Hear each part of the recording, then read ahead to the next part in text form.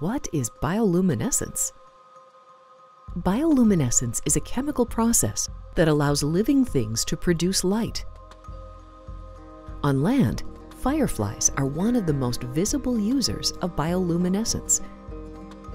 In the ocean, bioluminescent creatures can be found from the surface all the way down to the deep sea floor.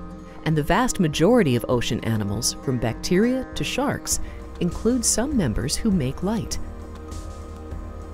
Possibly as much as 90% of creatures in the deep ocean produce light.